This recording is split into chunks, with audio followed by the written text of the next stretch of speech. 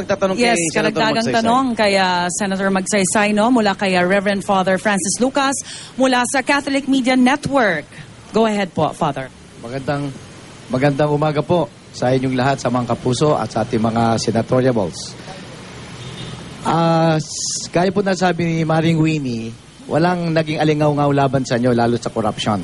And you pushed for efficient and honest governance. Ang inyong bandera, those who have less in life should have more in law, genuine public service. Ang tanong ko po, nakalagay sa ating konstitusyon sa saligang batas na na Article 2 Section 26 prohibit political dynasty as may be defined by law.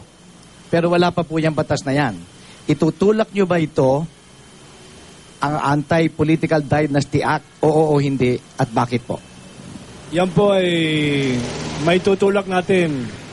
Pero marami ng mga panahon na Father Francis na talagang maganit.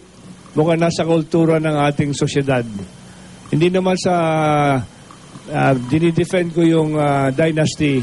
Pero pag ang ah, puno ay mahusay ang pagdisilbi ng bayan, pagkatapos niya pwede naman siguro yung bunga.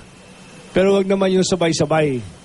Dahil kung sabay-sabay, eh talagang ah, parang wala ng ibang ah, mahusay doon sa distrito o sa lalawigan o sa nasyonal. Kailangan na one after the other. Huwag naman sabay-sabay na parang sila lamang ang bida. No? Kailangan na we have to redistribute dahil that is the essence of democracy. Oh, ang sabi nyo